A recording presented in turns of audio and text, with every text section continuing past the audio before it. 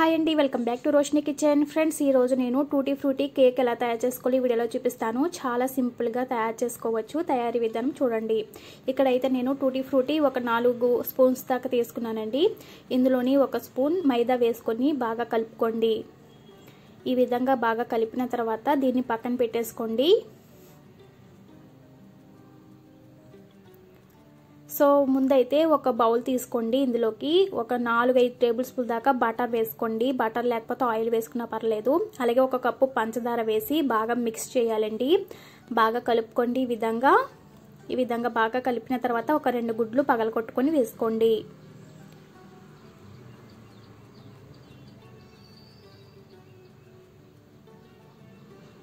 So గుడ్లు వేసిన తర్వాత బాగా కలుపుకోవాలండి. పంచదార వేసాం కదా మొత్తం అంతా కూడా బాగా మెల్ట్ అయిపోవాలి.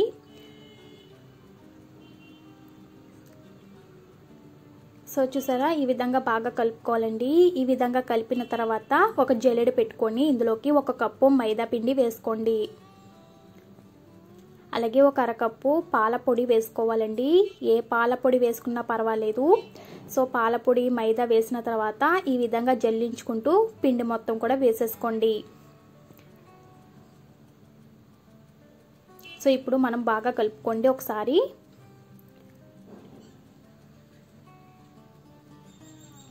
విస్కర్తో ఈ విధంగా ఒకసారి బాగా కలిపేసుకోండి.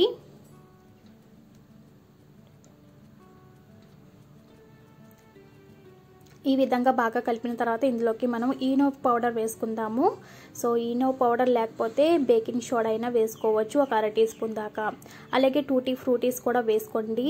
అలాగే వెనిలా ఎసెన్స్ కూడా వేసుకోవాలండి. ఒక స్పూన్ దాకా వేసుకోవాలి. వెనిలా ఎసెన్స్ తప్పకుండా వేసుకోవాలి. ఎగ్ స్మెల్ లేకుండా ఉంటుంది.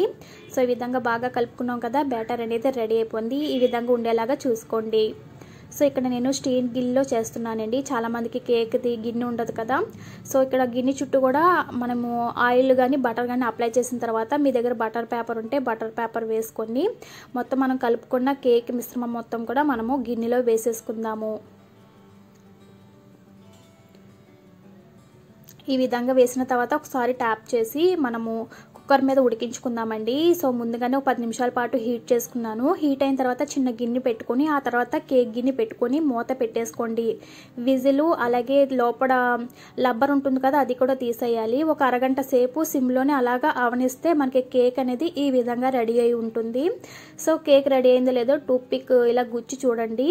సో మన కేక్ అనేది రెడీ అయిపోతుంది అనమాట సో కేక్ అనేది నేను ఇక్కడ రోస్ట్గా చేసుకున్నానండి. సో ఇలా చేయడం వల్ల బాగుంటుంది. పిల్లలు కూడా ఇష్టంగా తింటారు. సో తప్పకుండా ట్రై చేయండి ఈ విధంగా. సో ఈ వీడియో నచ్చినట్లయితే లైక్ చేయండి. ఇంకా నచ్చితే సబ్స్క్రైబ్ చేయండి. ఇంకా నచ్చితే షేర్ చేయండి. నేను కలుస్తాను మరొక మంచి వీడియోతో. Bye friends. బాయ్